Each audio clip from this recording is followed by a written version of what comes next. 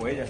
las huellas dactilares de los testigos, las firmas de los testigos y el chorizo que emana de la máquina de esa misma mesa que les acabo de leer y que dice que el candidato Justo Noguera tiene 95 votos y Andrés Velázquez 11 votos y no eh, 317 votos como dice la, el número colgado en la página web del Consejo Nacional.